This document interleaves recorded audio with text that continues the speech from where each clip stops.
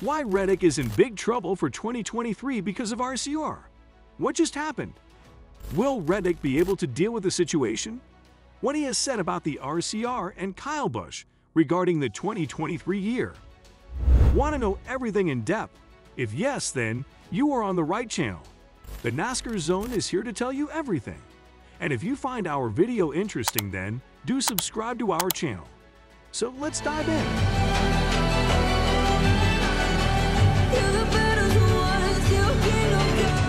Span of just five days, Reddick was able to lose both his crew for 2023 and his chances of winning the championship in 2022, making this one of the most frustrating weeks of 2022 for him.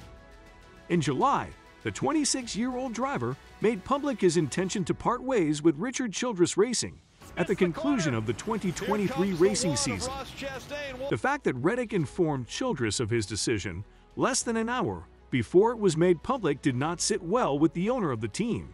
Childress, who had been insulted, responded by announcing that Reddick's crew would be used by Kyle Busch the following year. Busch, a two-time winner of the Sprint Cup, had been hired to replace Reddick a year before Reddick was even scheduled to leave his position. Our next driver at RCR for the eight car, Mr. Kyle Busch. It's a big day for all of us.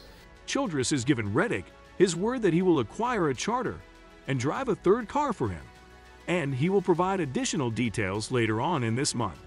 On the other hand, it had to hurt Reddick. Throughout the past two months, all he has talked about is racing as hard as he possibly can until the end of 2023 with a crew that has performed well with him.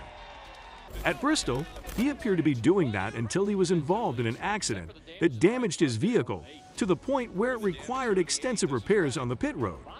This caused him to miss the race. In the end, he was knocked out of the running for the next round of the playoffs by two positions. Reddick was aware that he would not be able to control his own fate during the final stage of the race because he was 30 laps behind the leader and needed other drivers to crash in order to earn the points he required to advance. We were just tight, and we tried to adjust on it. Couldn't really make it better. Yeah, I saw the 99 get all crossed up. Tried to avoid it. I got on the brakes, got ran over, and um, same as last week. Just got heavy contact with the right front, broke the, the upper control arm. I'm glad we were able to fix it within the you know the DVP policy, but yeah, put us put us behind, and we needed more crazy stuff to happen. It just didn't quite unfold that way. If you find our video interesting then, do subscribe to our channel. Now, Reddick must make it through the next month, and possibly more, with the knowledge that his future is only partially under his control. Reddick said of Childress, he said he has a plan, and he has details for me. So we'll just see what they are when it's time to talk. Childress stated that the decision to change the crew was made easier by the hiring of Busch to replace Reddick because it would be detrimental to Busch to have one crew in his first year and a different crew in subsequent years. About an hour before the hiring of Busch was made public, he informed Reddick about the upcoming change in the crew for the following year. It is highly unlikely that this was done ironically. What views do you have on the issue of the crew that Busch will have? Let us know in the comments below. Reddick said that there was no tension during the event. No, it wasn't tense. Um, he just was filling me in on what was going on, and yeah, I understand because I'm moving on. So yeah, all good. Reddick chose not to engage in a verbal confrontation with the person who owned his car in the media. He looked at it from a business standpoint.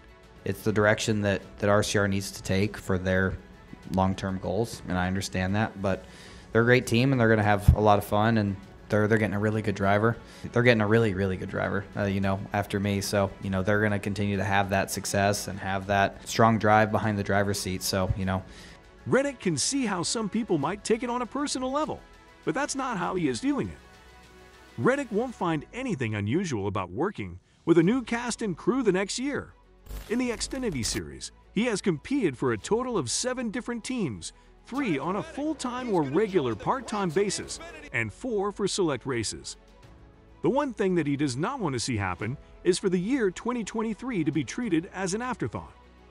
He works really hard and really wants it, so it ought to come together well. And altogether, he really excited about it. There is little reason to doubt that Reddick will continue to race at a high level. It is the only way he is familiar with competing in a race. He is fiercely competitive by nature. Austin Dillon, a member of the team that he is currently a part of, commented that Reddick does a really good job of tuning stuff out and just going to work. Tyler's a good dude. Me and him have a good relationship. He's just different. That's what's great about him because he's a, he's a talented race car driver. He's fast and goes out there, always shows speed. And if Reddick could start working for 23 SI Racing a year earlier, it would obviously make things much simpler for everyone involved.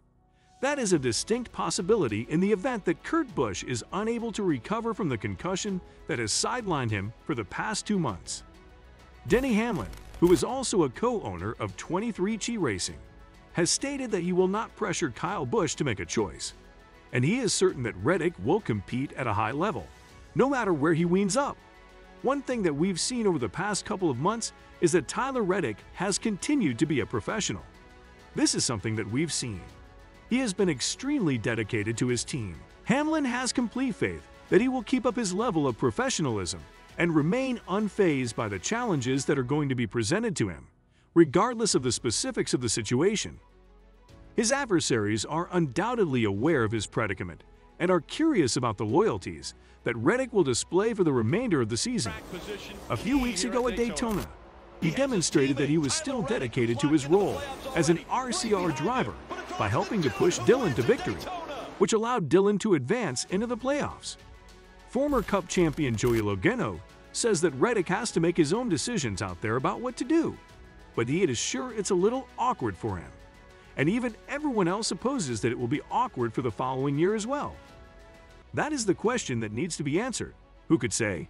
Reddick has given the impression that he does not. Reddick responded that he have no control over the situation.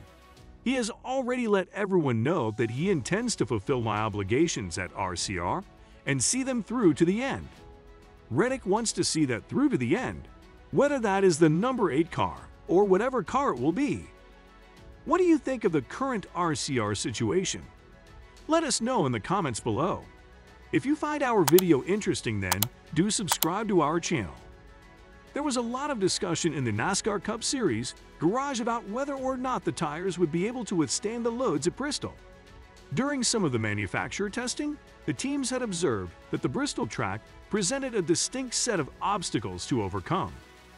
Several drivers had tire problems, which made it frustrating to watch that come to fruition as it unfolded. Goodyear faces a challenge every time it tries to match a tire to a track to a car, and this challenge remains constant regardless of whether the car or the racing surface is brand new. In the same way that the racing team does not always perform optimally, neither does Goodyear. However, when it's a three-race playoff round, the spotlight and the scrutiny are turned up to a higher level. Both Goodyear and NASCAR have demonstrated that they are willing to react and work to find a better tire for the upcoming race. The fact that they have several months to figure it out at Bristol is a positive aspect of the track, as the spring race at Bristol next year will be held on dirt, which will cover the concrete surface. What do you think will Reddick be able to handle the situation? Let us know in the comments below. That's all for today. Hope you all liked our video. So don't forget to subscribe to our YouTube channel to see more of our incredible videos. Look forward to seeing you in the next video.